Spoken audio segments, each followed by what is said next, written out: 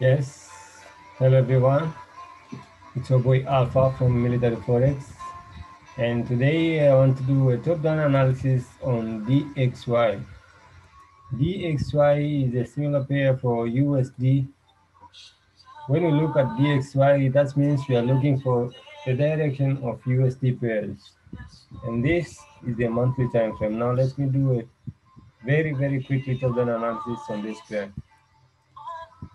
As you can see on monthly time frame, we were in a correction mode like this.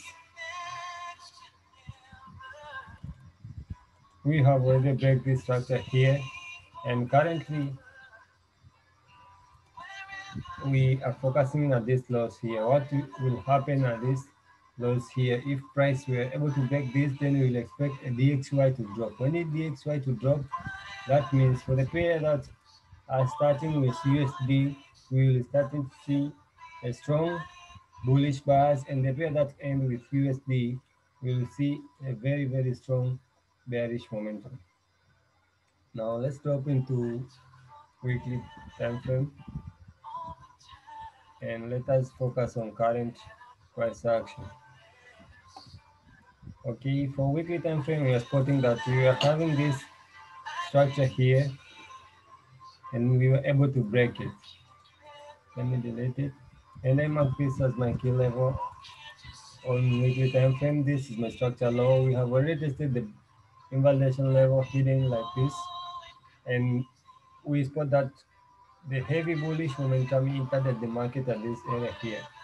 So for current situation, because monthly time frame tell, tells me that I'm in a downtrend, so I will expect the price to come at least to test this structure here so that I can consider taking a selling trade for DXY or USD pairs. Let's drop into the time frame to see what happens. And let us focus on current situation markets. We have already break this structure here, and I think I shared an analysis on both premium members and free community channels I share with them that I was waiting for price to come to retest this area after break of this trend line here. This trend line, I take it as my guideline because I use mostly my inval level or key level point where I, I take consideration of my entries. I don't take entry due to this trend line. Trend line are nothing to me, but I just take them as my guideline because most of my students were before were, they were using trend line strategy. So I start I start to combine them so that I do not want to confuse them. But most of our entry will consider taking these levels, key levels area where we spot the trend direction. As for this, I told them that I was waiting for price to come and retest at this key level here. So today, Monday, the price did as we expected. It comes to this level and the, what I see is that the price didn't manage to touch our key level. So I think tomorrow we will get a very, very nice reaction at this key level and we will take a consideration. Let me drop to four time frame to see. Yeah, four time frame was like this. I can adjust my level here and I would like to see a drop to come and touch my key level before I consider taking buying on any USD pair. So when I spot a nice rejection on this key level, I will start looking for buying opportunities on my price. As you can see, when price was doing this step liquidation,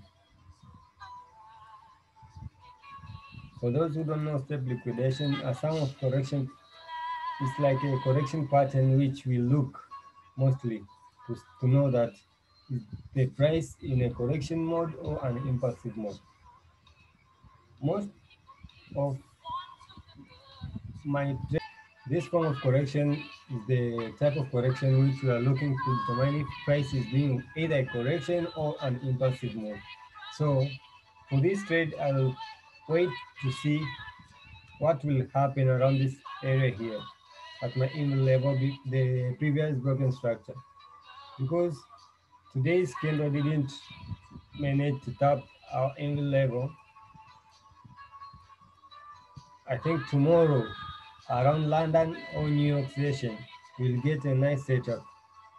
We also consider session on our entries. That is a type of information which I provide for premium members how to deal with session and taking entries. And I think this is the end of my top-down analysis on DXY. For more updates, I'll be providing on my community. If you want to learn how I, I analyze the market and how I trade, I spot my key levels, you can DM or direct message on my WhatsApp. I'll share my link below. Don't forget to subscribe and like. Also, don't forget to leave your comments so that I can know what you like to hear next time on my video. Thanks a lot. You're all welcome to Military Forex.